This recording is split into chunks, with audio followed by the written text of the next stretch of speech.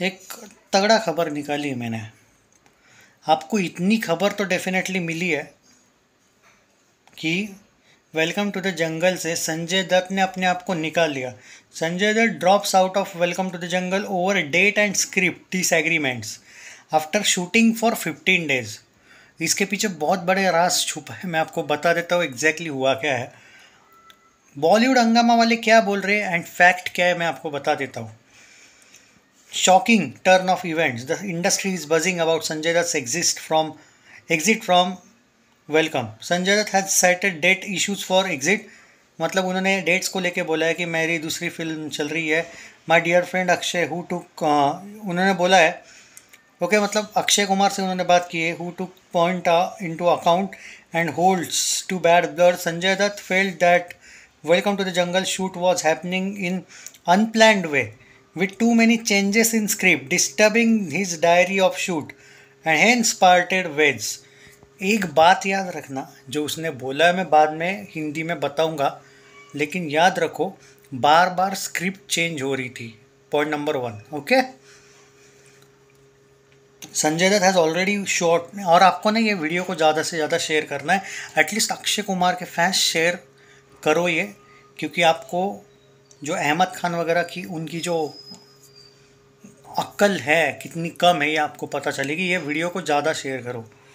Sanjay Dutt has already shot for fifteen days भाई, जो बंदा पंद्रह दिन शॉट करता है, और वो दो माइंड्स में था, उसका कहना है इफ़ दे शुड रिट अब देखो if they should retain Sanju has shot और कम्प्लीटली डिलीट इट एंड ऑप अब उन, उनके सामने ये सवाल है कि अब ये उसके जो शूटिंग है वो करना क्या है? क्या है? क्योंकि उसने पंद्रह दिन शूटिंग किया है, कुछ कॉमेडी सीन्स थे, अच्छे खासे उन्होंने शूट किए थे। Sanjay Dutt has shot for some funny portion of Welcome to the Jungle in first schedule and makers tempted to resume it and credit Sanjay Dutt for guest appearance हो सकता है कि गेस्ट अपीरियंस का नाम वहाँ पे आ जाए और उनके जो वो है सीन्स वो रहने दें okay source shared adding further team come up okay मतलब टीम ने कोई अभी तक अपडेट नहीं दिया है कि क्यों उन्होंने ये किया है। अब मैं आपको रियल रीज़न बता देता हूँ। क्योंकि ये भाई, ये हो गया बचने बचाने वाले काम। अब आते हैं फैक्ट पे। रियलिटी ये है कि संजय दत्त आप जानते हो कि आजकल बॉलीवुड पे नहीं साउथ पे ज़्यादा बिलीव करता है। उसको अच्छे खासे विलन रोल्स मिलते हैं, वो एक्सेप्ट भी करता है और वो ब्लॉकबस्टर भी देता है। K G F two is the big big example पर। और अब संजय दत्त का बॉलीवुड पे वो वाला बेर बोलो स्टार्डम नहीं बोलो, या जो बोलना है बोलो, या फिर उसको बॉलीवुड से वो लगाव नहीं है। दूसरी इंपॉर्टेंट बात यह है, बहुत बड़ी मुश्किल से इन लोगों ने संजय दत्त को मनाया था वेलकम के लिए, जब अप्रोच किया गया था। संजय दत्त लिटरली उस स्क्रिप्ट को ले स्क्रिप्ट को लेके बार बार डाउटफुल थे। जैसे कि उन्होंने पहले भी बोले वो द्विधा डबल माइंड में थे कि करूँ या नहीं ये फ़िल्म पंद्रह दिन के बाद उनको रियलाइज़ हो गया कि फ़िल्म की स्क्रिप्ट एकदम भंगार थर्ड क्लास है। और उन्होंने अपने आप को निकाल दिया। ये फैक्ट है। बॉलीवुड मीडिया आपको बिल्कुल नहीं बताएगा ये चीज़। याद रखना वेलकम टू द जंगल बहुत बड़ी मुश्किल में है। भाई इनडायरेक्टली बोलो डायरेक्टली बोलो, संजय दत्त ने ये भी स्टेटमेंट दिया है। पाँच से छः बार अगर कहानी बदली जा रही है फ़िल्म की तो उस राइटर को और डायरेक्टर को अपनी फ़िल्म पे कितना भरोसा है? चाहे फराज समझी जैसे लोग हो, अहमद खान जैसे लोग हो, ये लोग अक्षय कुमार को डुबाने का कॉन्ट्रैक्ट ले चुके हैं। वेलकम टू द जंगल से सल, संजय दत्त का जो एग्ज़िट है, ये बहुत चीज़ें खोल देता है। लेकिन भाई, आपकी सो कॉल्ड मीडिया ये नहीं चाहती है कि फराज समझी, अहमद खान जैसे जो लोग रहते इनका नाम बदनाम हो। ये लोग तो भाई किसी का भाई, किसी की जान को तक मास्टरपीस बोल सकते हैं, क्योंकि भाई पैसा मिलता है। सलमान से नहीं इन लोगों से कि भाई हमारी तारीफ़ करो राइटिंग की हमारी। ये फैक्ट है। अब आपको समझना होगा कि वेलकम टू द जंगल आप वेलकम वन से कंपेयर करने वाले हो वो कैटरीना वाली फ़िल्म की, या फिर कम उम्मीद रखने वाले हो, आप लोगों पर है। ढाई सौ करोड़ के आसपास बजट रखा है इस फ़िल्म का। एक कॉमेडी फ़िल्म, जो जंगल में, जिसका राइटर डायरेक्टर बताने की ज़रूरत नहीं कि क्या है कौन है। सोचो, समझो। और ऊपर से अक्षय कुमार ने सौ करोड़ लिए फ़िल्म के लिए, वो तो कुछ बोलेगा भी नहीं। ये है फैक्ट। अगर मैं सौ अक्षय कुमार के पकड़ूँ तो क्या बाकियों का डेढ़ सौ करोड़ में बना फ़िल्म? नहीं, शायद तीन सौ करोड़ भी बजट हो सकता है। मुश्किल में है, Welcome to the Jungle. Sanjay Dutt का एग्जिट बहुत सवाल पूछता है, इनसे सवाल पूछने वाला कोई नहीं है लेकिन मुझे ज़्यादा उम्मीद नहीं वेलकम टू द जंगल से। याद करना, याद याद करो। बड़ी मियाँ, छोटी मियाँ के टीज़र के वक्त मैं बोला था, मुझे थोड़ी बहुत उम्मीद लग रही फ़िल्म से।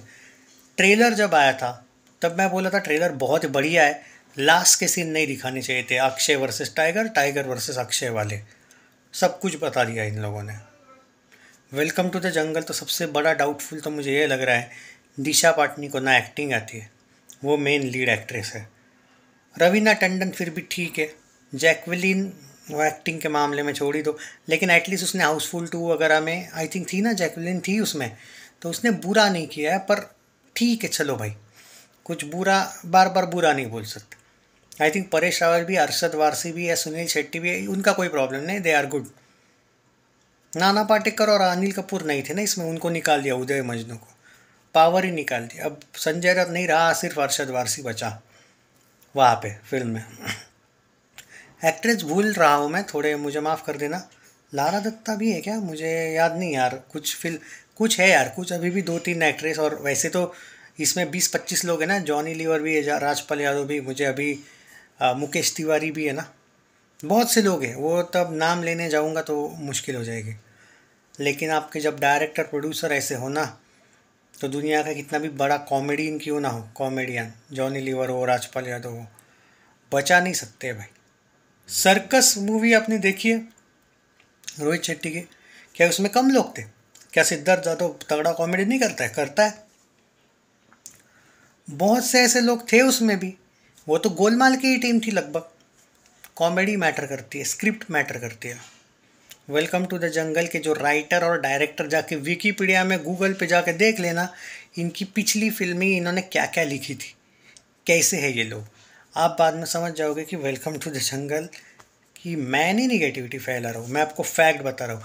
आप कुछ अलग सोच रहे हो कि भाई वेलकम मतलब वो पूरा ना एक ऊँचा लंबा कद, ये, वो वो, अरे नहीं है भाई। उसमें कुछ नहीं है। मैं एक बात बोलता हूँ यहाँ पे वेलकम के मेकर्स को। अगर दिशा के बदले तुम कैटरीना रख भी देते ना उसमें तो भाई थोड़ी उम्मीद थी, क्योंकि भाई तुम एक थोड़ा सा ओल्ड एक नॉस्टालजिया फील जानबूझ के ला रहे हो। वर्क कर जाता काम। सूर्यवंशी में कैटरीना कैफ थी, अक्षय एंड कैटरीना की जोड़ी भाई चलती है, कैसी भी हो चलेगी। एक ही फ़िल्म थी आई थिंक जो नहीं चली थी उनकी तीस मार खान, पर एटलीस्ट ना, वो एकदम बुरी भी नहीं चली की, चली थी कि सेल्फी जैसी हालत हुई थी उसकी, ऐसा नहीं हुआ था। तो उनकी फ्लॉप फ़िल्में भी अच्छा करती थी। तो थोड़ा सा है भाई प्रॉब्लम